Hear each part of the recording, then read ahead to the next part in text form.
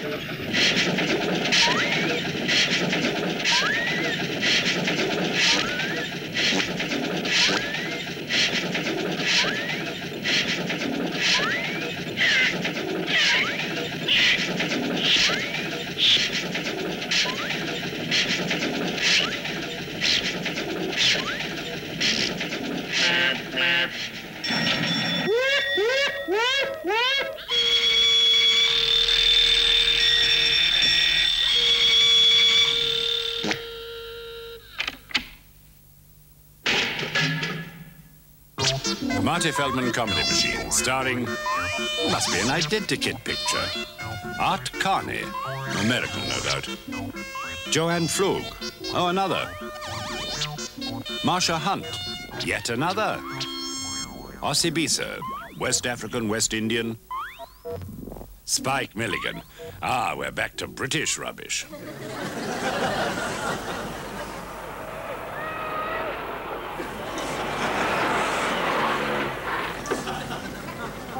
Watching you, sir. I'm afraid you'll have to take the breath test. Do you mind blowing into this?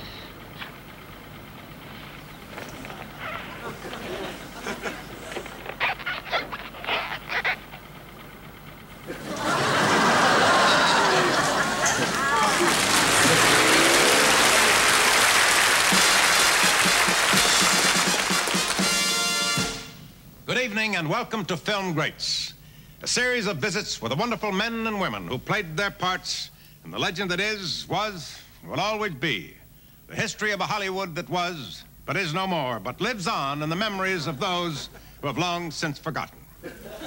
Tonight's film great, Justin St. Trust. One of the golden names of the silver screen, Justin St. Trust, who set women's hearts on fire in film after forgettable film the reigning monarch of a celluloid kingdom, and then the invention of sound. The moment movies began to talk, Justin St. Trust's silent voice became silent forever. A man whose face had become a household word became a shadow of the past, deserted by dames, fame, and fortune. Tonight, here on Film Greats, we're privileged to have with us making his first public appearance in almost a quarter of a century, a great human being and a really tremendous has-been. Glittering silent film star, Justin St. Trust.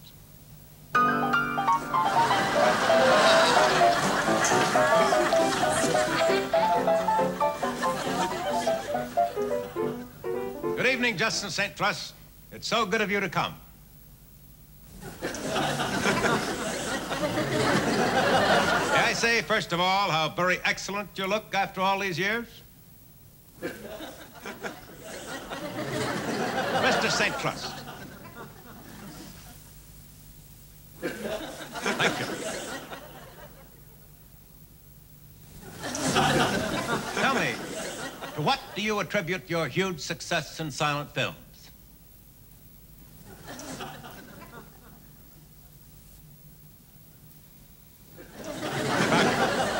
It seems incredible and remarkable that a career as remarkable and incredible as yours should have come to such an incredible and remarkable end.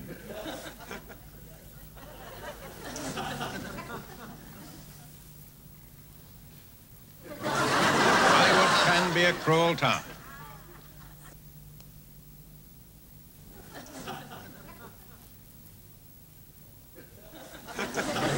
Who would you say was the one person in the industry who you most enjoyed working with?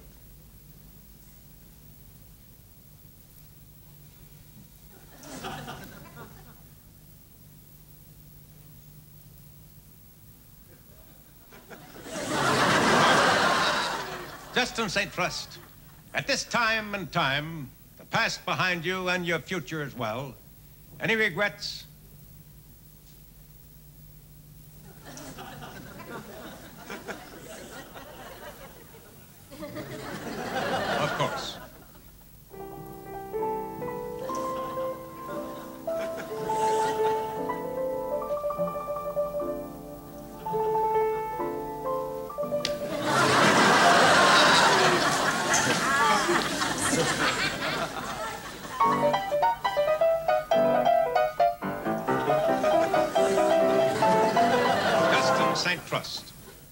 In his own time. It saddens me to have to tell the many fans and friends of Justin's that he died just one day before this interview was to have taken place. Good night, and sincerely yours.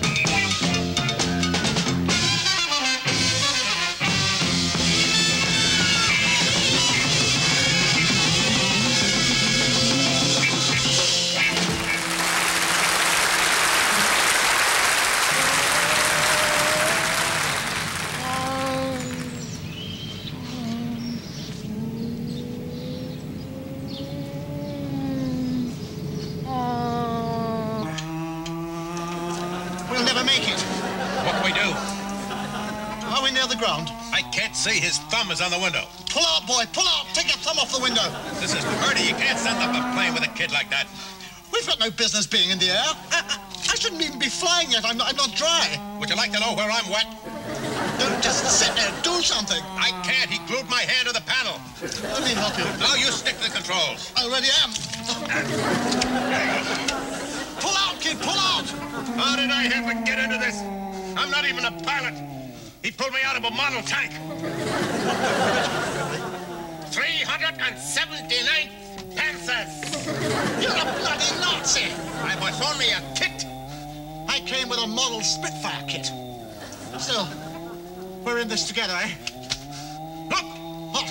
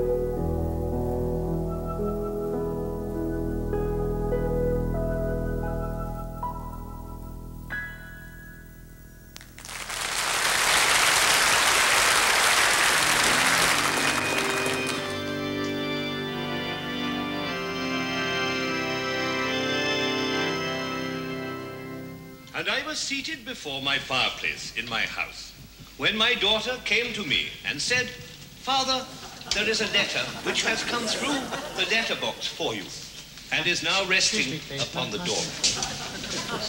Don't worry about me. You carry on. I'm, I said to my daughter, fetch the letter. I'm just looking for a seat. Now go on. Yes, please go on. And my daughter brought me the letter. It's Not very comfortable up here, though. Excuse me, I'm just looking for a seat. You carry on. You carry on with the story. It's very nice. I like that. And my daughter Excuse brought me the letter. Excuse me, please. And I opened it. Pardon. Excuse me. And I read it. You go ahead. Excuse me, please. And the letter was a final I can try demand sitting here, you from see. the gas board. I can see you quite well from here if I sit just there, you see. And surely No, I'm not as comfortable here as I thought I would. I thought I would be much more comfortable here than I am. No. this is a sort of demand, Excuse final me. demand, Um, is this seat occupied? one- no, no, no. Thank you. You go ahead. that one day we shall all receive from the great gas board in the sky. And now we will sing. I'm quite comfortable now. You go ahead. Don't worry about me. We shall now sing. I'm enjoying it. hymn number 211, omitting verses 3 and 4. Oh, uh, you're, you're omitting those verses, are you? Yes, Oh, I'm glad you're not leaving them out. we are omitting them. Oh, good. Well, I'll omit them very loudly, then, Yes, shall I? but In four-part harmony, I'll omit. We are leaving out verses 3 and 4. Couldn't you leave out verses one and two instead? No. You see, because I don't like them. They go on about sheep. And I did once have a very nasty experience with the sheep in Kettering. Would it make you happy if we left out verses 1 and 2? Yes. Very well, then. We will now sing hymn number 211, omitting verses one, two, three, and 4. Uh, and, and five. And And, five. I won't have verse five, excuse me, please. I won't have verse five any price, you see, because it goes on about the sea. And I was once sick on a tram coming back from the seaside, you see. How do you feel about verse 6? Not keen. All right, then. hymn number 211, omitting verses 1, 2, 3, 4, 5, and 6, And seven. and 7. There, there are only seven verses. Oh, um, well, do you do requests? Requests? What sort of request did you have in mind? Well, I, I don't know what it's called, but it goes la la la bum bum ah, in the morning. Which is cold. no, no, in the morning. There's no coat in it. I'm Which gonna is go, coat in the morning. Go, Which you know, is go, coat. in the morning. Remember where you are. Look, I put my button in the plate. I've got as much right here as you have, mate. Please. What would you have us sing? Yum, dum, bum, dum, bum, bum, dum, dum, bum, In the morning. With its coat No, there's no coat in it. Wait a minute. No, no, uh, no. Uh, there's pigs in it, and a Scotchman, um, Engelbert Humperdinck sings it. Out of tune. Do we know anything about pigs and a Scotsman that Mr. Engelbert Humperdinck sings? Uh, out of tune. Out of tune. Uh, don't worry, Your Reverence. I know it intimately. Wait a moment. I'll lead the congregation, All shall right, I? all right. After four, then. One, two, three, four.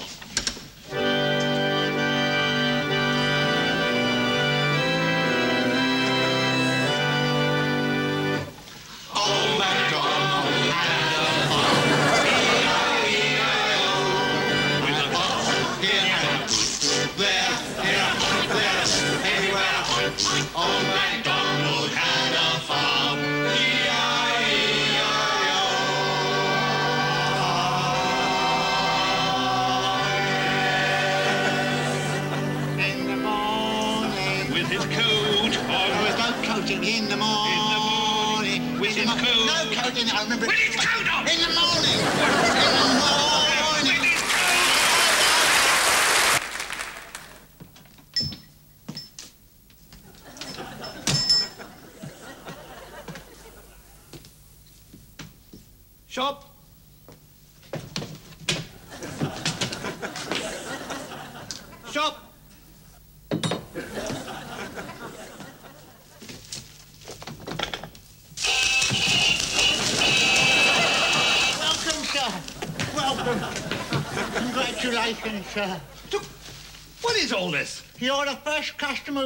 Since we opened this shop 43 years ago, sir.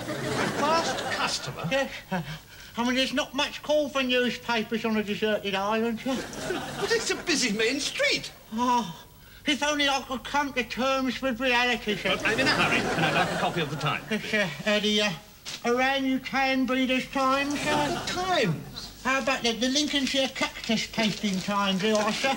This month's special pull-out Playmate of the Month, sir. A kangaroo in full frontal nudity, so it's pouch hungry tax. All I want is the Times Times, the famous national newspaper, the Times, the Times, the Times. I'm not sure I can let you have one of those, sir, not in your state of health. If I offer to pay, you'll jolly well have to let me There's no need to use that tone of voice with me, sir. I shall call the police and have myself arrested. How dare you? I can be very dangerous when I'm aroused, sir. Right, well, I better take your measurements then, and I'll uh, Will you get your arms up in the air, so The arms, arms up. Thank you. Right. Chest, 38. Shoe size, two and a half. You must be mad going round in them proportions. Look here, what's your hat size? Oh, I'm getting out of here. No, no. We're closed for lunch, sir. You jolly well let me out of here. At last I can practice my salesmanship, sir. Uh, how would you like a nice copy, sir, of, of Teenage Fun? With this month, sir, absolutely free, a year's supply of acne. Oh, I haven't ordered it at my chemist. Ah, so you could do this nice fun quiz here, sir. Am I a lively personality? Oh, I'm not I did it. I found out I was dead, sir, yes. I'm not interested in all this frivolity. How about the Royal Perversion Society's annual monthly, sir? Comes complete with a map of every park in every major city, sir. What? One step more, and I shall assault you with this copy of Karate Choppers Fortnightly. I could finish you off with one blow to the neck from page 38, sir. Now, look here. I am not going to buy any of your trash. There must be something you'd like, sir. Uh, uh, uh, ah, I've got it. How about, how about, how about cookery, sir? There, I like, sir. 101 things a boy can do with a turnip. There, are, sir. No, 102. That looks painful, but I'm sure it's delicious. No. All I want is the newspaper. Oh, well, there, there must be something you'd like to buy. I'm a desperate man, sir. I'd have died of starvation three times, only I couldn't afford a funeral, sir. How'd you like to buy my shirts? No. Nice shirt. Nice pair of socks, sir. No. Underwear? How you fixed for spare feet, sir? You can have the entire shop for a fiver, sir. That- No. What? All I want is the Times. Please. Right. Right. You've broken down my willpower. I only hope you can live with your conscience, sir. Is there any particular day you'd like. Today. Well, the only copy I've got here, sir, is for January the 34th, 1943, sir. Shall I wrap it for you, sir? Don't bother. I'll eat it here.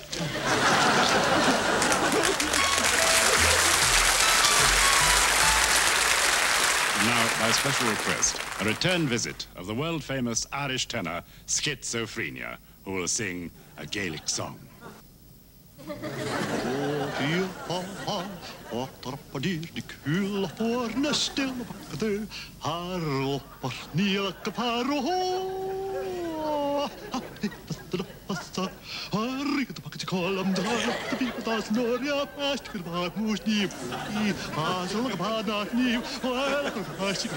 er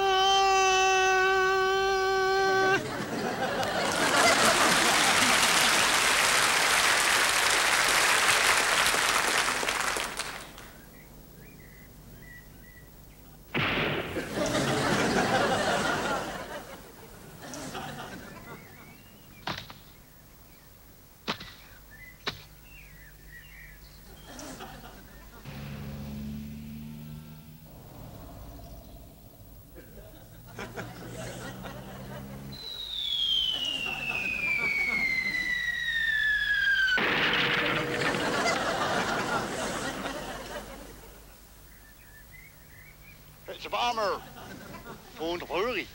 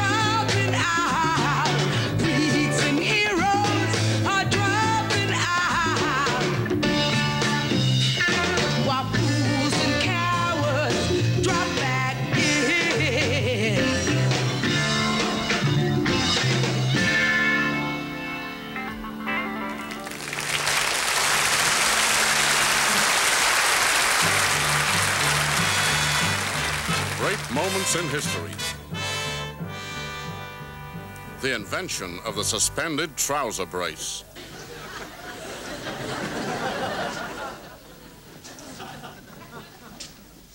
Daddy dear, you've been thinking all morning. Eh? You'll wear yourself out. I have not thought of a new invention in months. Don't fret, dear Dad. You know that your best ideas have come to you out of the blue. Quite right. I think I'll have a peer out the window.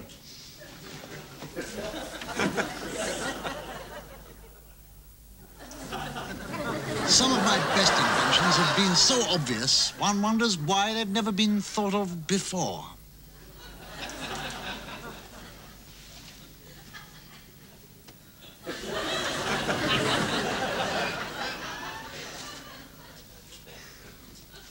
Oh, Daddy, Inspector Trench is due here any minute. Ah, He said it was urgent business. ah, again then.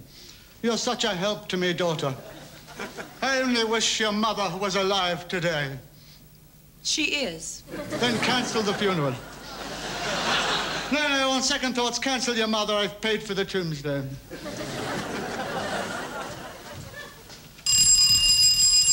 Come in! It's Inspector Trench, Daddy. Sorry, Inspector Trench. May I shake your hand? Go right ahead, sir. Thank you. Bitter day, bitter day, bitter cold. Bitter day. Uh, come and warm yourself by my daughter, sir. Very good, sir. Well, I'll get you a drink, Inspector.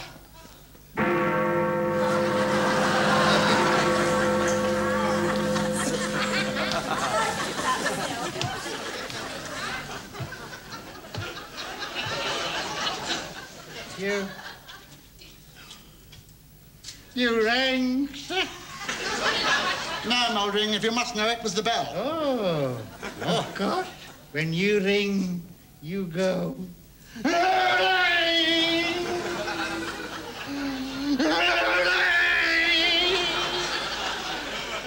My word, two o'clock. Was it one o'clock twice? Mouldering, Yes, sir. a whiskey for the inspector, he needs one. Yes, sir. And a bath for yourself. Yes, sir. Not worth having him dry cleaned at his age. No, no, he died three years ago, you know, but I haven't had the heart to tell him. The shock would kill him. Sir James, I shall come straight to the point. Come straight to the point. Sir James, he's struck again. Ah! Who? This isn't for a young girl who's ours. Where are these? They belong to your mother. She was a man of the world. Hurry, man, hurry. Coming with all speed, young. You were saying, Inspector. There can be no doubt about it, Sir James. He's struck again. Who? The Hyde Park trouser snatcher. Bum, bum, bum, Thank you, Mulder. How did this happen, man? I went to the... Um, um, no, no, no, not that, The Hyde Park. I'll tell you, sir. I can feel a flashback coming on. Oh, I better change the sheets then.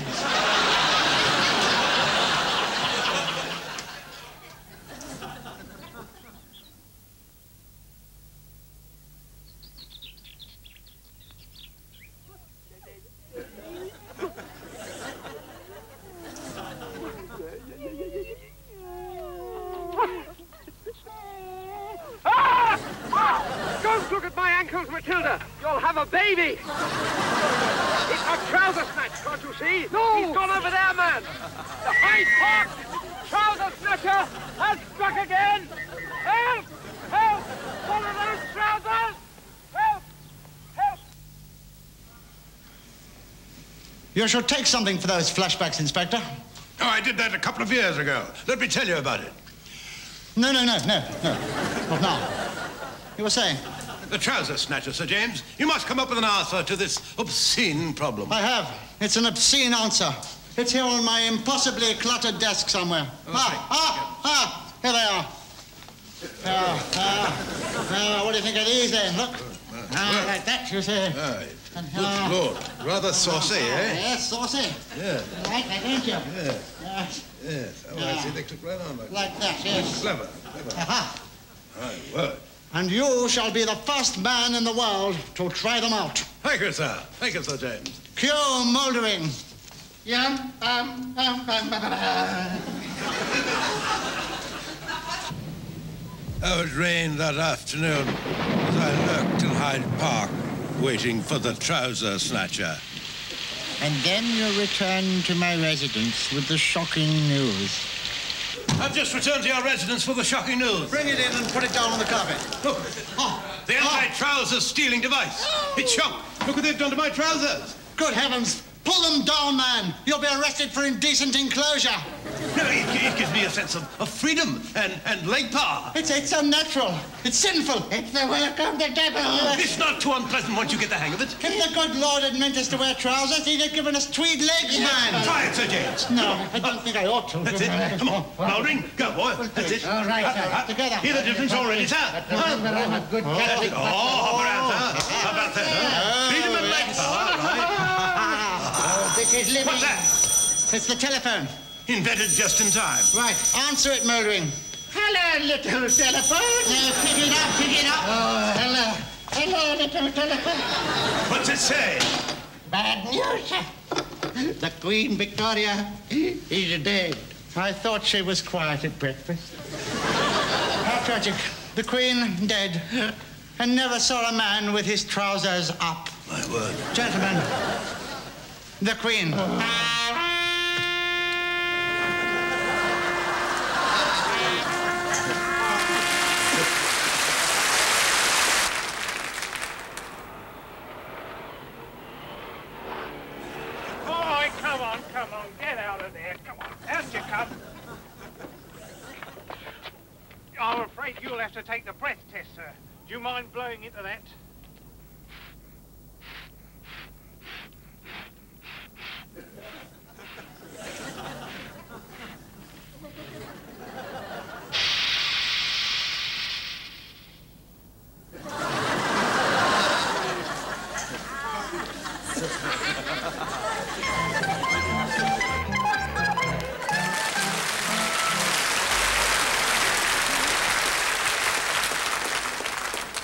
December 25th, 1968.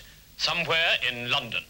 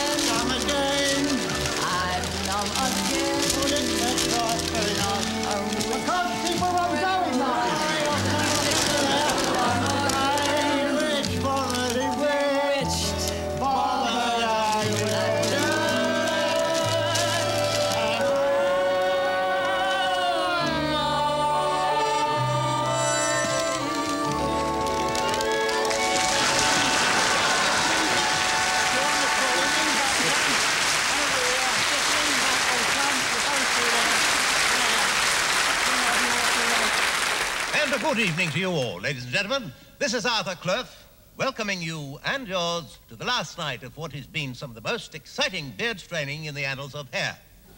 Tonight, this great hall is virtually a throb to the question that is uppermost in everyone's mouth which of our finalists will win that highly prized, most coveted award, the Golden Beard of the Year?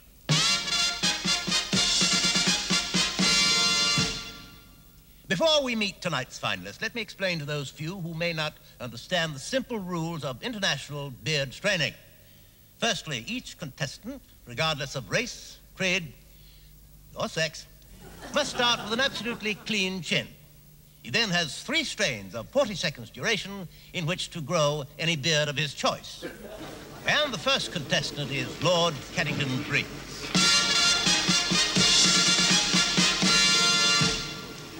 Lord Caddington Briggs from the host country is going to start us off.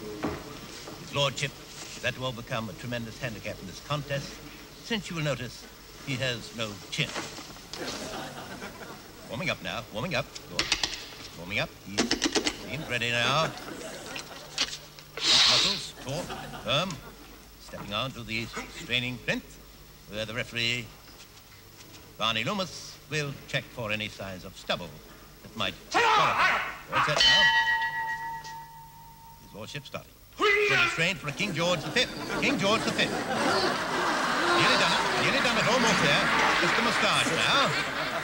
Working on the moustache now. And there it is. Well done, your lordship. Lewis. Loomis coming in now to make sure it's a beard. Yes, it is a beard. Let's see what the judges have to say. Here's their scoring. Five for speed, three for texture, and one for originality. So for Great Britain, it's nine points out of a possible 30. Well, on we go with our next contestant then. From the Republic of Ireland, Seamus O'Hooligan.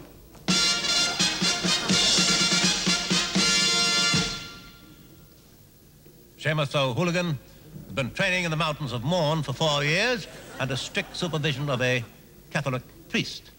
The hooligan says, and I quote, I am going to win, unquote. This young man is an unknown quantity. He's a part-time ballet dancer and vicar's mate, and he's hoping to turn pro after tonight. He's warming up now, as you can see. Very, very thorough, this hooligan, and a little frightening. Definitely a non-conformist. He's in good form, making sure his sinus cavities are clear. Just finished working the tongue muscles. Ready for straining. No, no, it seems that it's a false start. False start, no. Referee agrees. He's not pleased with that at all. No, he's going to try again. A little more warming up. Now, I believe that, yes, he's going for a, a George Bernard Shaw. A, a difficult number, the Bernard Shaw. Red hair is needed. Nothing less will do. Straining, yes, yes, nicely, nicely. Looks like he's done it. Uh-oh. No, it's black. It's black, and the referee has noticed it. It should have been red. The judges are sportingly giving him just one point for his clean underwear. Thank you, Judge. Oh, I, I've just been informed that uh, Monsieur Laplat, the French contestant, will be using the French anti-knee trembling device with the traditional Gallic nerves clench, and everyone here wishes him every luck in the world. Now, he's mounting his device, and the straining begins. Oh, this is wonderful stuff. Yes, yes, uh, I might say this is beard straining at its best. Marvelous. Marvelous. Look at him go. Look at him go. Tremendous effort, ladies and gentlemen. Really, really great. Really marvelous. And look at it go. Look at it go, ladies and gentlemen. We've never seen anything in beard straining like this. Even the referee is caught up in the spirit. And the hair. Uh, this is what it's all about, ladies and gentlemen. Let me tell you, we've never seen anything in beard straining contest before uh, to equal this. And it brings it down to the last contestant, the Spaniard, Senor Gaspel. I think it's clearly between the Senor and the Frenchman. Uh, he looks clearly determined to put on a great last straight. There he goes, and it's a blue beard. It's a blue... Uh, what's he shaking his head over? Oh, I, think, I, I think he's going... Oh, he's lost. He's lost. I think he meant to, and he's going on. What's he giving us? A Stalin. And he's not finished yet. He's gone down. What's that? It... Beautiful Stalin. Now, what's he trying? But he's... It's a reverse... Looks like a reverse spinning Stalin to me. The man is a master. Yes, it is. A reverse Stalin. Going into... Now, he's... Fit... No, it's a Fu Manchu. Never, never before have I seen anything like this. Fu Manchu with variations. Oh, this is tremendous stuff. Let me see now. Oh, oh Bonnie Loomis seems to be involved here. Yes, the referee is involved. No doubt. Oh, it's a Fu Manchu with a bronze beard. Never, ladies and gentlemen, I have never, never... He's recovered it. I must say, this is this is most unusual in beard straining. I've never seen anything like this. Wait a minute, he's done the Charlie Chaplin. But no, this spunky little man is not through yet at all. The man has a fountain of hair, and it seems to be growing as he's straining each minute. Oh, there can be no doubt, no doubt whatsoever, ladies and gentlemen, this man will win the beard straining contest of the current year. We have never seen anything like this. So inspiring, one might almost say disgusting. Still straining, still straining. Uh, Senor Gaspel is going all out tonight like he's never gone before. I have never, never seen anything like this in... in... Referee, there, there, there's Bonnie Loomis paying him the Golden Beard of the Year.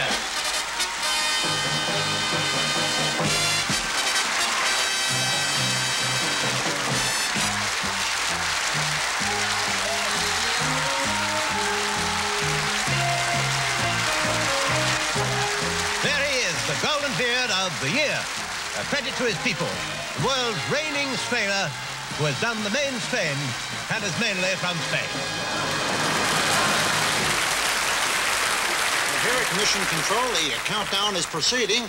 It's five, four, three, two, one, and we have liftoff.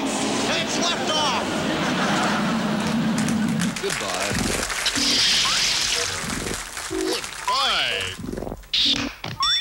Goodbye. Goodbye. Goodbye.